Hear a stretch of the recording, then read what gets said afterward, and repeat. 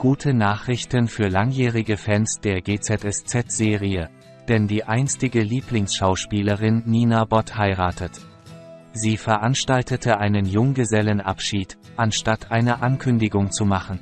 Nina wird ihren langjährigen Verlobten Benjamin Barz heiraten, den sie liebevoll Benny nennt. Die beiden sind seit zwölf Jahren ein Paar, er war früher ihr Tennistrainer. Das Paar hat drei gemeinsame Kinder und lebt in Hamburg.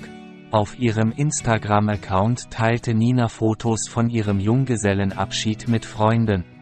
Los geht es mit einem Frühstück im Restaurant Morgenmuffel in Eppendorf, gefolgt von einer Tour mit der S-Bahn quer durch Hamburg.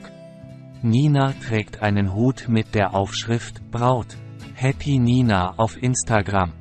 Ich hatte einen tollen Tag mit meinen besten Freunden überhaupt.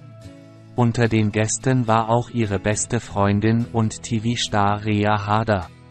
Rea teilte der Presse mit. Nina und ich sagten einmal, wie wunderbar es wäre, wenn wir gleichzeitig Kinder hätten, dann wären wir fast zusammen Mütter geworden. Die Ehe verlief nicht sehr gut. Ich wünsche ihr viel. Das Wichtigste, sei einfach weiterhin eine tolle Freundin und Ehefrau und das Glück wird zu dir kommen. Wir hatten einen tollen Start, als wir uns in Morgenmuffel von dem kleinen Esel trennten, der Nina und mir überhaupt nicht gefiel.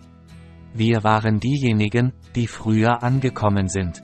Völlig unerwartet lernte Nina ihren Freund Benny im Jahr 2012 kennen. Sie hatte sich gerade von ihrem Ex-Partner und Kameramann Florian König getrennt, mit dem sie 17 Jahre lang zusammen war und einen Sohn hatte. Wie es das Schicksal wollte, traf ich oft auf einen gut aussehenden jungen Mann in weißen Tennisshorts, der mich immer mit seinen auffälligen blauen Augen anzog, schrieb sie in ihrer Biografie. Anfangs war ich zeitweise skeptisch. Er ist erst 25 Jahre alt.